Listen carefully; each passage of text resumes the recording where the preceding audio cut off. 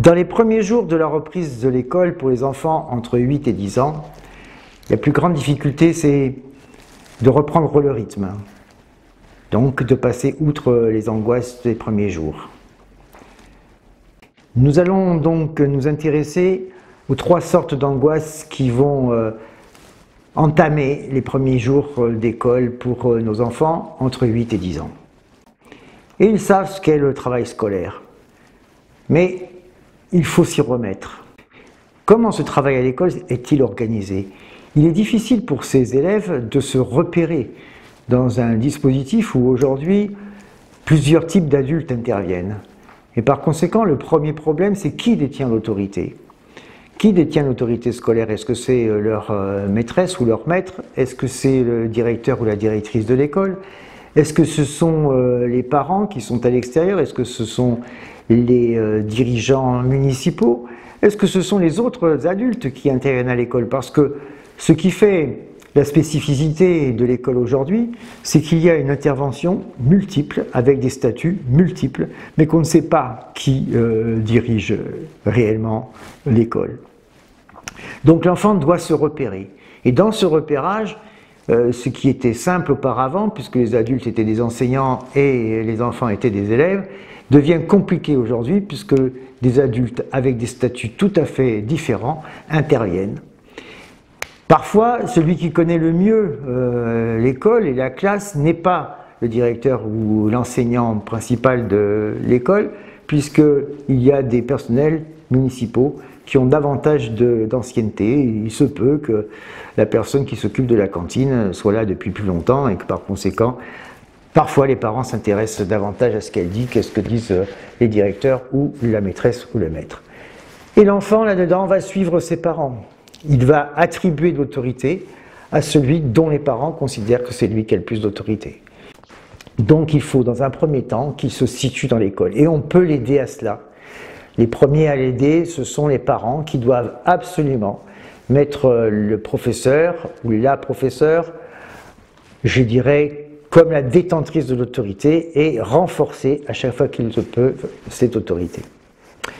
Le deuxième type d'angoisse qui va se produire dans ces premiers jours d'école, c'est l'angoisse de la réalisation. Comment situer ses performances scolaires? Évidemment, ça rentre dans une histoire qui est l'histoire des années précédentes. L'enfant se compare à lui-même en quelque sorte. Il va essayer de savoir s'il se rappelle des contenus euh, des enseignements précédents. Il est clair que cette année, euh, une année spéciale avec euh, la pandémie qui a marqué la fin de l'année scolaire et le début de cette nouvelle année scolaire, les angoisses vont grandissantes. Ce n'est pas les élèves qui se posent des questions, c'est tout l'entourage qui se demande si les programmes de l'année précédente ont été finis et si euh, ils vont avoir le temps de rattraper et d'apprendre des choses nouvelles. les élèves, eux, savent très bien que de toute façon, le fait de travailler va faire qu'ils vont apprendre des choses nouvelles. Mais surtout, il faut que ce travail ait une finalité. Il faut être dans une pédagogie du projet. Il faut que les élèves, dans leur classe, fabriquent quelque chose ensemble. Parce que ce contrat social n'a de sens que si le travail scolaire a un sens. Apprendre, c'est une chose, mais apprendre pour quelque chose, pour faire ensemble quelque chose, pour vivre ensemble une expérience, c'est cela la vie d'une classe. Et c'est là-dedans que nous devons placer euh, nos enfants lorsque nous discutons avec eux du travail qu'ils font à l'école. C'est-à-dire, il ne faut pas personnaliser sa performance, sa réalisation, il faut lui demander qu'est-ce que vous faites ensemble à l'école? Et à partir de là, votre enfant arrivera sans doute à communiquer sur euh, l'œuvre commune qu'ils font euh, dans la classe. Le troisième type d'angoisse qu'il va y avoir, c'est sur le plan relationnel, parce que là, la difficulté pour lui, c'est de retrouver ses amis et ses copains. Or, il peut y avoir eu euh, des tas de circonstances qui font qu'il n'a pas les mêmes copains que l'année précédente. Et même s'il a les mêmes copains ou copines que l'année précédente, eh bien, il va se trouver dans des relations qui vont avoir changé, parce que les vacances sont passées par là, parce qu'il peut y avoir eu des différends, parce que euh, un de ses amis ou une de ses amies peut s'intéresser davantage à autre chose, il peut avoir des traits d'intérêt qui ont changé, etc., etc. Par conséquent, se refaire une bande de copains de classe une bande d'amis de classe est pour lui sans doute une priorité, car son rôle d'élève, il va le tenir par rapport au professeur, mais aussi par rapport aux coopérations qu'il peut avoir dans la classe. Évidemment, le travail autour du projet de la classe est important. Mais en même temps, il faut qu'il puisse retrouver ses copains en dehors de l'activité réelle, euh, concrète de la réalisation de ce projet. Il faut que dans la cour de récréation, il puisse jouer avec eux, etc. etc.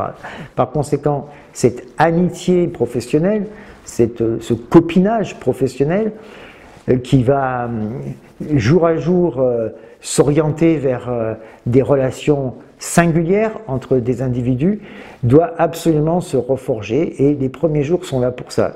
Donc très souvent, les enfants, quand ils rentrent de l'école, s'ils sont euh, un peu taciturnes, si vous voyez qu'ils ont euh, euh, une certaine tristesse, c'est qu'ils n'ont pas retrouvé euh, les amis précédents ou qu'il y a un problème avec les copains. Il faut être très attentif à ça. Parce qu'un enfant qui ne retrouve pas ses copains, c'est le risque aussi d'un enfant qui s'éloigne de son milieu euh, de travail et qui peut avoir ensuite des difficultés scolaires. Alors, dans tous ces cas de figure, si vous voyez que vous avez un problème particulier que vous n'arrivez pas à solutionner, n'attendez pas. En quelques séances, on peut régler un problème s'il est pris à euh, temps. En revanche, si on laisse perdurer, il peut y avoir des difficultés qui s'incrustent et qui empêchent ensuite l'enfant euh, d'évoluer tranquillement. L'âge de raison, c'est 8 ans. Entre 8 et 10 ans, les enfants sont perméables à tout argumentaire, à condition que nous soyons capables de faire appel à leur capacité de raisonnement. Il faudra donc leur amener dans des exercices particuliers des éléments qui vont les obliger à raisonner. À bientôt.